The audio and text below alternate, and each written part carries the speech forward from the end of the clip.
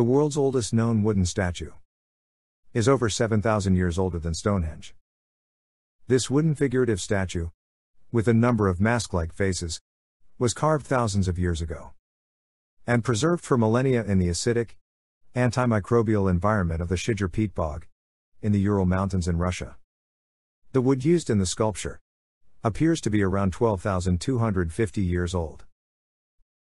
Since the Shigir idol was made from the trunk of a larch tree with 159 growth rings, this suggests that the statue itself was carved around 12,100 years ago. Around 500 years earlier than the 2018 analysis showed. This suggests that the sculpture was carved at the end of the last ice age and the beginning of the Holocene.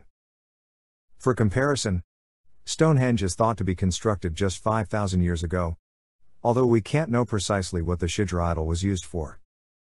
Its very existence is suggestive of an appreciation for art and craftsmanship. The people who created it appear to have had an appreciation for symbolism that, at one time, experts thought emerged much later.